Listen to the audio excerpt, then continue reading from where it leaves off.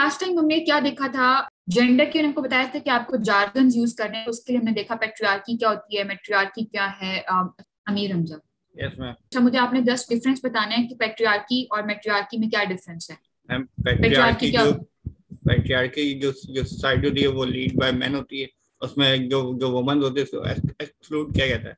और जो मैट्रियार्की होती है उसमें ये, वुमन का रोल होता है और उसमें मेंस को एक्सक्लूड किया जाता है। ठीक है thank you Amir Hamza thank you अच्छा जी कोई स्टूडेंट जो अपनी मर्ज़ी से मुझे जो है वो जस्ट ये बता दे कि जेंडर और सेक्स में क्या डिफरेंस है। मैम जेंडर जो होता है वो सोसाइटी डिसाइड करती है और जो सेक्स होता है वो बायोलॉजिकल होता है और नेचुरल होता है।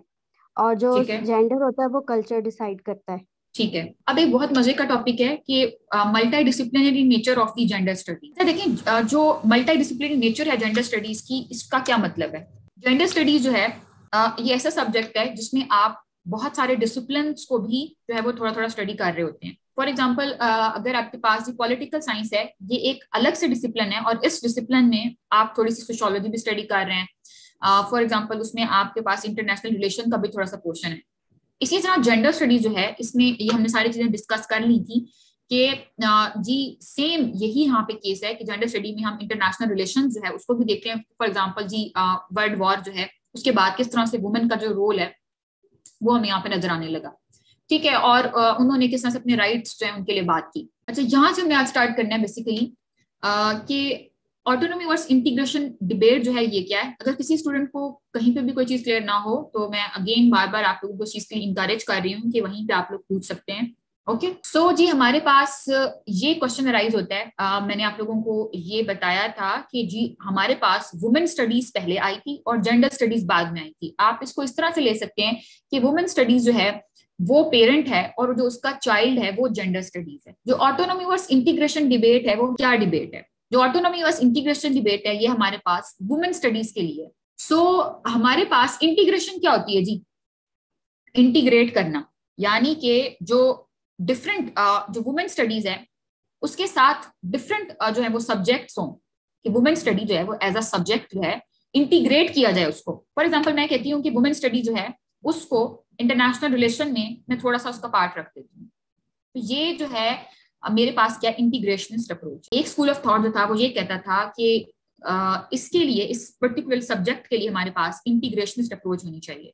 जबकि दूसरा जो स्कूल ऑफ़ थॉट है, वो हमारे पास क्या कहते हैं कि हमारे पास सेपार्टिस्ट अप्रोच होनी चाहिए, या आइसोलेशनिस्ट अप्रोच होनी चाहिए, या ऑटोनॉमी होनी चाहिए। यानी कि इस सब्जेक्ट को एक सेपरेट एकेडमिक डिसिप्लिन के तौर पर इंट्रोड्यूस करवाया जाए। उसके बाद जो है, वो आपने जो करना है, वो करें। राइट मीन्स के वुमेन स्टडी में अगर आपने कुछ सोशोलॉजी ऐड करनी है तो आप कर लें।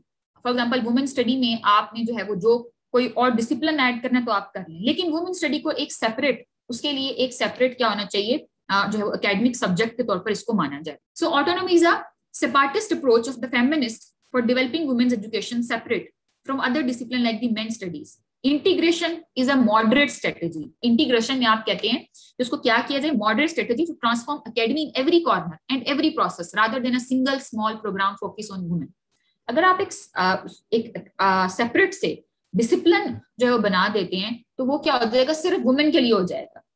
तो जो इंटीग्रेशनिस्ट अप्रोच थी, वो कहती थी कि ऐसा नहीं होना चाहिए, जबकि जो ऑटोनॉमी डिबेट है, वो कहती थी कि वुमेन जो है, वो अपने राइट्स के लिए, अपने पॉलिटिकल राइट्स के लिए सोशल राइट्स के लिए पहले बहुत ज़्यादा स्ट्रगल कर चुकी है। तो अब हमें एटलीस्ट जो है, वो इतनी ऑटोनॉमी दे दी जाए कि हम अपना जो वुमेन इश्यूज़ हैं, उनके लिए जो है वो हम अपना एक अलहदा से एकेडमिक डिसिप्लिन बना लें। जिस तरह की आपके यूनिवर्सिटी में डिपार्टमेंट्स नहीं होते for example ji Urdu department English department for example chemistry department science department तो ये यहाँ पे यही वाला केस है ठीक है?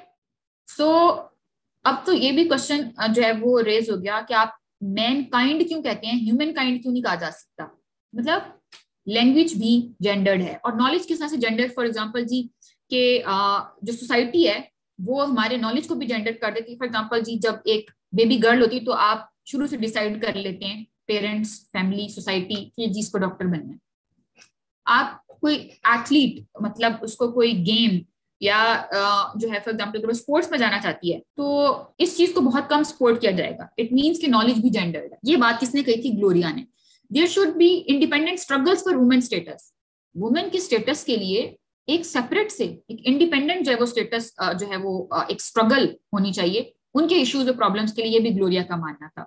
जीन फॉक्स जो है, ये क्या कहती हैं कि women studies itself independent subject and must be divided in other branches आप वुमेन स्टडीज़ जो है, उसको पहले एक सेपरेट सब्जेक्ट के तौर पर इंट्रोड्यूस करवा लें।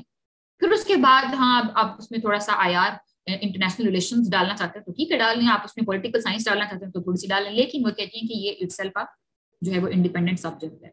तो एट द एंड हमारा जो एंड रिज़ल्ट था या जो कंक्लूजन था, वो हमने क्या निकाला जी? कि हमें इंटीग्रेशनिस्ट अप्रोच को सपोर्ट करना चाहिए, क्योंकि ये मॉडरेट अप्रोच है, क्योंकि ये रेडिकलिस्ट अप्रोच नहीं है, क्योंकि ये बैलेंस्ड अप्रोच है। अच्छा इसमें हमारे पास कुछ पॉइंट्स हैं, जिनको हम मेंशन कर सकते हैं कि अब जो है वो ग्लोबलाइजेशन का है। आप सेपरेट से नहीं रह सकते। फॉर एग्ज़ाम्पल जी एक सेपरेट से कोई आप कहते हैं कि कंट्री है वो किसी के साथ ट्रेड नहीं करना चाह रहा। इंटरनेशनल रिलेशन जो है वो उसके अपने फॉरेन पॉलिसी की हर चीज़ जो है वो कहते हैं कि जी, मैं एक आइसोलेशनिस्ट अप्रोच की तरफ़ भी जाना चाहता हूँ। It is not possible in this in this particular century so globalisation जो है, वो उसके आने के बाद ये काफ़ी मुश्किल हो गया कि वुमेन जो है स्टडीज़ को इसी तरह से वुमेन स्टडीज़ को एक्सेप्ट जो है वो क्या किया जाए? एक सेपरेट ब्रांच के तौर पर इंट्रोड्यूस करवाया जाए। इंटरडिपेंडेंसी जो है आ, वो बहुत ज़्यादा होगी। फॉर एग्ज़ाम्पल मैंने आपको बताया कि अगर आप इसको सेपरेट कर देते हैं तो आप लॉयर्स आप जो है वो डिफरेंट फॉर एग्ज़ाम्पल साइकोलॉजिस्ट जो है या जो पॉलिसी मेकर्स हैं वो सारी चीज़ें कहाँ से लाएँगे? सोशल स्ट्रक्चर जो है आपको वो भी स्टडी करना होता है फैमिली सोसाइटी इंस्टीट्यूशन तो उसमें ऑब्वियसली सिर्फ़ वुमेन नहीं है। क्या फैमिली में सिर्फ़ वुमेन है? क्या सोसाइटी में सिर्फ़ वुमेन है? क्या इंस्टीट्यूशन में सिर्फ़ वुमेन है? तो ऐसा नहीं है। उसके बाद स्टेटस ऑफ़ द वुमेन या जेंडर स्टडीज़ इन पाकिस्तान वो क्या है? स्टेटस ऑफ़ वुमेन पहले इस स्टेटमेंट को प्लीज़ जरा अंडरस्टैंड करिएगा। स्टेटस ऑफ़ वुमेन या जेंडर स्टडीज़ का मतलब ये है कि जो वुमेन स्टडी है या जो जेंडर स्टडी है as a subject as a discipline ये पाकिस्तान में किस तरह से इंट्रोड्यूस है वो हुई ओके अगेन पहले वुमेन स्टडी आती है और बाद में जी हमारे पास जेंडर स्टडी आती है। वुमेन स्टडी में आप जस्ट वुमेन को स्टडी करते हैं, उसके बाद जब gender study as a discipline जो है वुमेन स्टडी की, उसको आप इस तरह से देख लें कि ये आइसोलेशनिस्ट अप्रोच थी और जेंडर स्टडी जो है वो आपके पास इंटीग्रेशनिस्ट अप्रोच है राइट उसके बाद क्या जो था वो बैकग्राउंड क्या था? क्या सिनारियो था कि जी हमारे पास जो है वो वुमेन स्टडी इंट्रोड्यूस की जाती है पाकिस्तान में?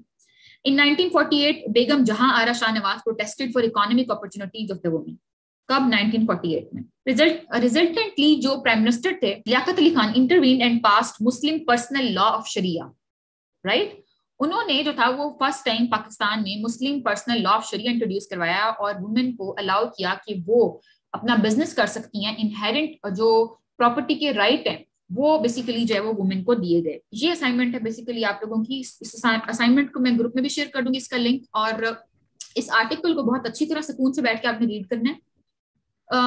पेट्रियार्कल वैल्यूज़ आर इनग्रेन्ड और लर्न क्वेश्चन को पढ़ के आपने इस पे जो है वो आउटलाइन बनाए आप जैसे भी इसको लिखना चाहते हैं इसको इस इसका आपने ये आंसर लिखना है। या फिर ये क्वेश्चन सेम है इसको मैंने दूसरी तरह रिफ्रेस किया हुआ जस्ट मेल चौवनिज्म या male dominancy super social structure of the society are really stumbling block simple सी बात है मैंने जस्ट फैंसी लैंग्वेज यूज़ की है क्योंकि एग्जामिनर ऐसी लैंग्वेज यूज़ करता है। पेपर में नहीं आया हुआ लेकिन एग्जामिनर uh, की लैंग्वेज इसी तरह से होती है। कि मेल चौवनिज्म का मतलब है कि मेल डोमिनेंस या super structure of the society are really stumbling block in the way of the women empowerment do you think government of Pakistan has taken any satisfactory steps in this regard और government need more work on it discuss ये दोनों एक ही बातें हैं। इस question को मैंने इसलिए दो तरह से यहाँ पे मेंशन किया कि एग्जामिनर डिफरेंट वे से क्वेश्चन पूछता है। मैम uh, मैंने ये पूछना था जो आपने इंटीग्रेशन वाला हम लोगों को क्वेश्चन uh, दिया है। अब वो आपने कहा कि सिर्फ़ आउटलाइन उसमें बनानी है आप लोगों ने। लेकिन जब हम लोग इसको पूरे को अटेम्प्ट करेंगे तो आपने बताया था जब ओवरव्यू दिया था तो आपने कहा था कि आपने हर क्वेश्चन के अंदर क्रिटिकल एनालिसिस ज़रूर लिखना है अपना। तो अगर हम उस सवाल के लिहाज से बात करें तो उसके अंदर हम लोग क्या अपना क्रिटिकल एनालिसिस बताएँगे? ये इस क्वेश्चन में मैंने डिटेल से बताया अगर आपका इंटरनेट इशू कौन आप नेम बताएँगे प्लीज़ मैम सुकैना सुकैना। जी जी सकेना मैंने इस क्वेश्चन मैं दोबारा से स्क्रीन ये आपको स्लाइड शेयर हो जाएँगी। आ, आ, मुझे आ, बाकी लोग प्लीज़ कंफर्म करेगा कि मैंने क्रिटिकल एनालिसिस इस क्वेश्चन के एंड में बताया है ना आप लोगों को। बाकी लोगों को क्लियर था। शायद आपका इंटरनेट इशू है। Yes, yes, जी मैम मेरा थोड़ा सा डिस्कनेक्ट हो गया था yes, तो मुझे पता नहीं चला। ठीक है। जी मैंने ये बताया है कि क्रिटिकल एनालिसिस किस तरह से लिखते हैं और आप इसमें किस तरह लिखेंगे इसमें मैंने फैक्टर्स बताए थे कि ग्लोबलाइजेशन है। ठीक है फॉर एग्ज़ाम्पल इंटरडिपेंडेंसी है फॉर एग्ज़ाम्पल अदर आइडेंटिटीज हैं जिनको आप निगलेक्ट नहीं कर सकते, ये सारी चीज़ें थी इसमें थी। ठीक है I am signing walk for today and best of luck